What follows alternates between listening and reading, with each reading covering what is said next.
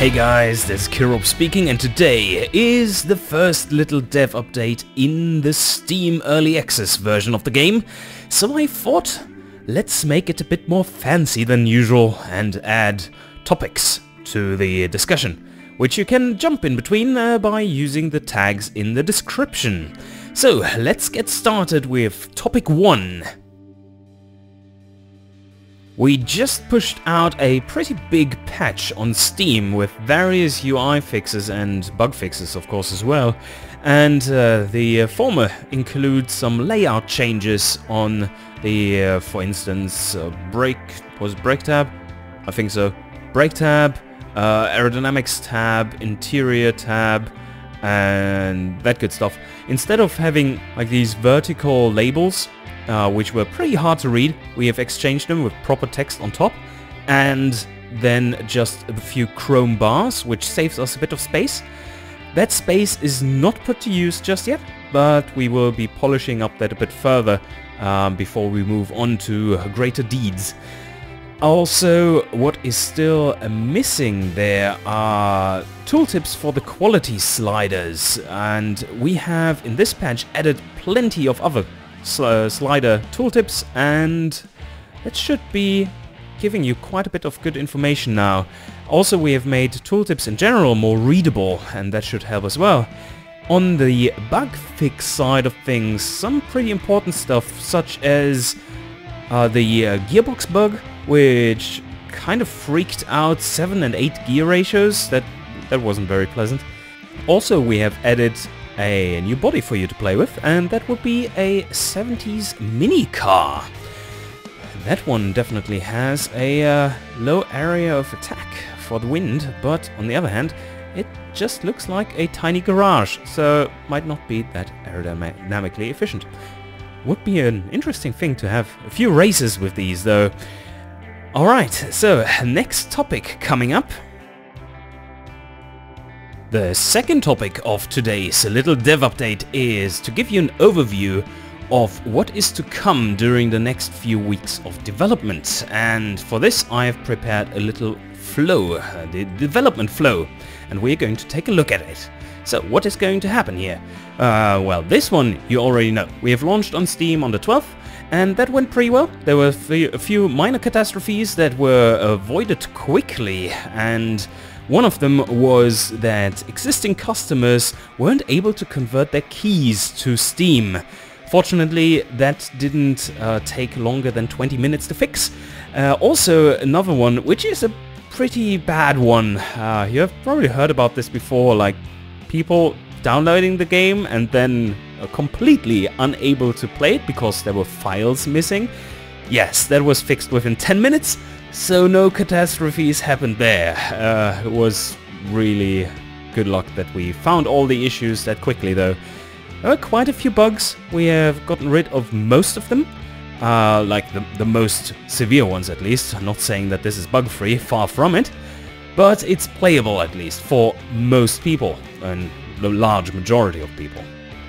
But we are continuing to fixing bugs. As you can see here, bug fixing and polishing is what we are doing right now and that has led to a Steam patch. Um, because we don't want to patch the standalone version all the time, we are going to wait a bit with this one until we have a few more fixes in and start of next week, like Monday, Tuesday-ish, we are going to release the standalone version, which includes all the good stuff from the Steam version. In the meantime, Andrew is working on uh, fixing up the tutorial videos. Uh, most of them are still very unfinished, as you have seen, um, and some car bodies here and there, which you have seen also in today's patch. We had this little mini 70s body. And that all in all will lead to a kind of final Steam uh, bug fixing polishing update, uh, which is right now about one week away, maybe end of next week we will be seeing this one. And that should include most of the polishing and stuff and uh, concludes the uh, this first little phase. What we are moving into then should be pretty exhilarating to quite a few of you because First of all, Steamworks integration. Caswell is going to work on that, as well as um, the variant workflow update. And that will mean that you can, for example, uh, with, within the same model, build a wagon and a, uh, a normal, normal sedan uh, style body and you will be able to change fixtures for these as well. Uh, so this is only temporary what you're seeing right now. This will definitely change and you will have all the possibilities to change your models around, uh, or the trims around as you desire. Alright, so the exciting one though for many of you, uh, the V6 engines. We did get sounds for the V6 engines. And that is kind of what is what is blocking us from the others right now. We don't have the sounds yet. So uh, this one will probably, with the assets we have, will take two to three weeks to make.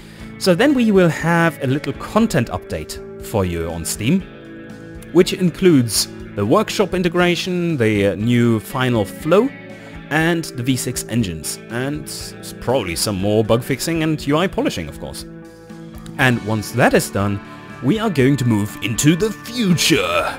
And the future is, of course, um, getting multiplayer ready, that includes the first little tycoon bit and what we are going to focus on there is first of all before we go into any other tycoon bit at all is the buyer demographics. We want to have a solid model for how your buy for how buyers choose cars.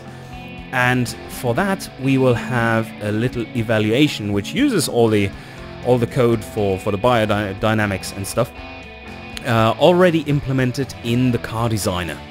Probably like a uh, on the final testing page of the car you will have a complete separate page like the test track but for how nice this car is for different demographics. And yes, multiplayer will be uh, really interesting as well, uh, but this might take a while and that's why I don't have any kind of date there yet.